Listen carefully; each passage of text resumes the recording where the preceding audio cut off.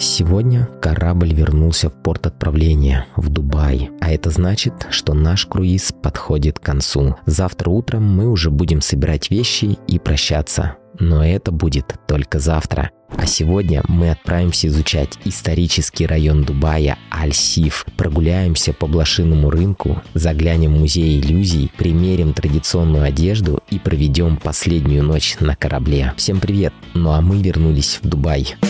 Ребята, за границей это мы,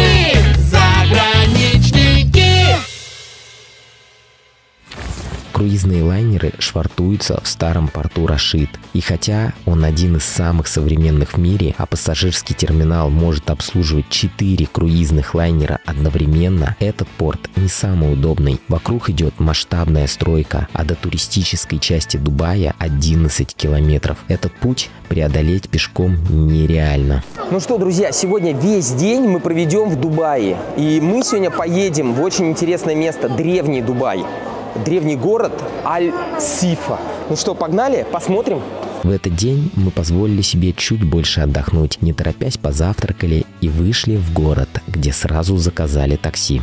Такси в Дубае ездит по таксометру. Иногда его могут предложить отключить, но никогда не соглашайтесь. Мы же просто-напросто не поняли друг друга с водителем. Потому по приезду я был сильно удивлен ценой в два раза больше, чем показывало приложение Карим. Похожая ситуация здесь с нами уже случалась. Выйдя из такси, решили теперь всегда ездить только по таксометру и следить за этим вопросом. Дорога от терминала до места, где мы еще не были, но хотели бы, оказалась недолгой. Всего через Через 10 минут мы оказались в настоящей восточной сказке. Вдоль спокойных вод залива Дубай-Крик тянется примечательный район под названием Аль-Сиф, что в переводе с арабского значит «берег». Еще с древних времен здесь кипела жизнь Эмирата. Единственная гавань города была центром торговли, ловли рыбы и драгоценного жемчуга. Сегодня здесь можно не только прогуляться по вымощенным камнем улочкам, но и насладиться уникальной архитектурой, очаровательными традиционными домами с навесами из соломы. На крышах то тут, то там виднеются борджилы. Это ветреные башни, использовавшиеся для охлаждения зданий в странах Персидского залива на протяжении многих веков. Они перенаправляют воздух сверху к основанию здания и в подвалы. И даже проходящие мимо пешеходы могут почувствовать, как их обдувает прохладный ветерок. На территории комплекса можно встретить знаменитые восточные базары, а также блошиные рынки. Здесь торговцы предлагают изделия ручной работы, традиционные сувениры и даже старые вещи.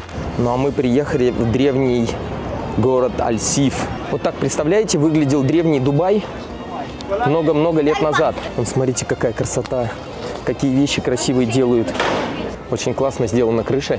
Здесь натянуты тенты. И цены, как всегда, конечно. А чашечка кукурузы 25 дирхам. Так, а мы сейчас зайдем вот в это кафе и возьмем фалафель. Шаверма из фалафеля.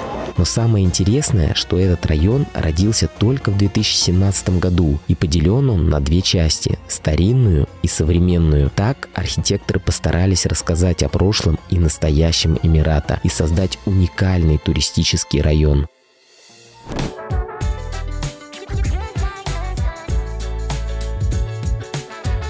А у нас будет сейчас эпичная распаковка. Мы пьем кофе в самом древнем Старбаксе и едим самый древний фалафель в мире.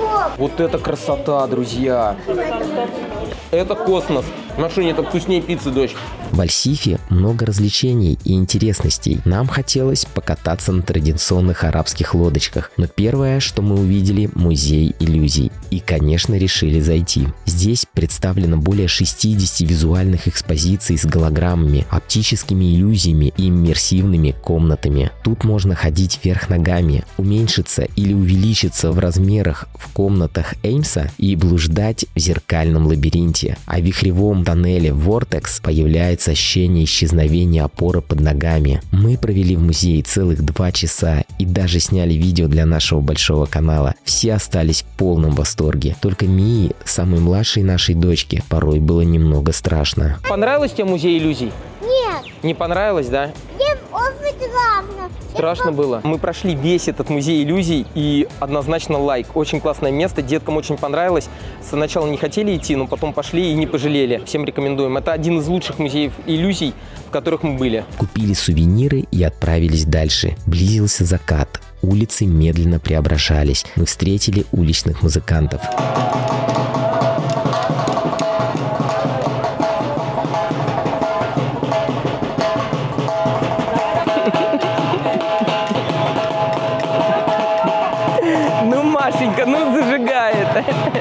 затем прошлись по невероятно красивой набережной. Прогулка по Альсифу вечером всей семьей – то, что нужно. Очень красиво, аутентично, ухоженно и чисто. Глаз радуется. На набережной можно взять и лодочку, чтобы на ней добраться до старинного золотого рынка, в самое сердце города. Мы не успели, слишком долго зависали в музее, но в описании оставили ссылку на прошлогоднее видео оттуда. А мы зашли в такое интересное кафе, называется The Roots Cafe. Мы заказали тут очень интересное два кофе. Одно кофе корневое, не знаю, с чем это. Первое на кокосовом молочке.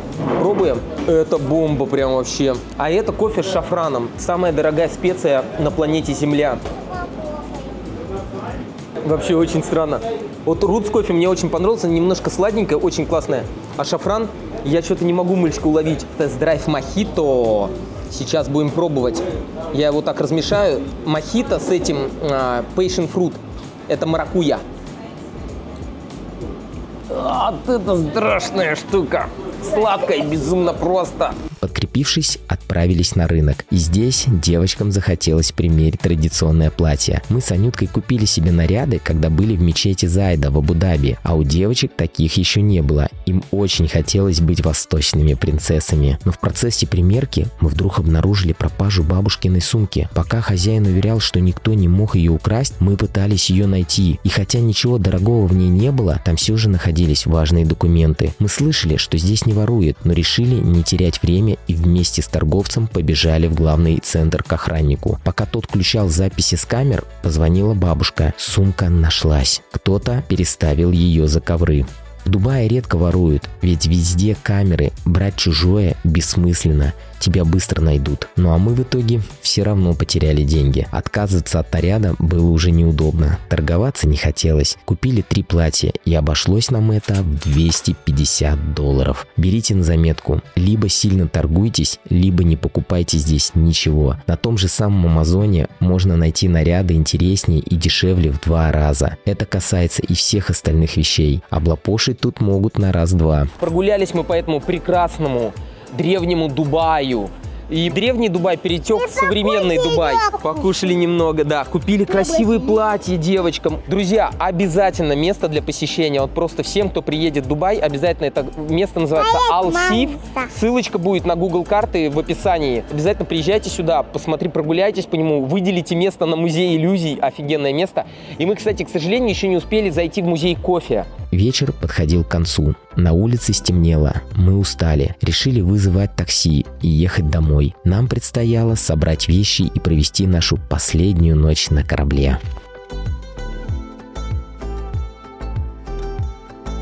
Нас охватывали двоякие чувства. С одной стороны, мы так активно провели все эти дни, получили столько эмоций и впечатлений, что даже устали. И уже хотелось вернуться в наш постоянный отель Сондер в Дубае. С другой, наша каюта, да и весь корабль уже стали для нас комфортабельным домом. И прощаться было грустно. А еще нам тут так хорошо спалось. И даже часы зафиксировали у меня и у моей мамы лучшую ночь за всю историю наблюдений. Мы закрыли глаза и в последний раз окунулись в безмятежные сны. Завтра тяжелый день, будем выезжать с корабля. Обязательно поделимся с вами этим, а также выводами, плюсами и минусами, да и просто впечатлениями от курорта на MSC Виртуоза в следующем влоге. Ставьте лайки и подписывайтесь на канал, чтобы путешествовать вместе с нами. Пока-пока!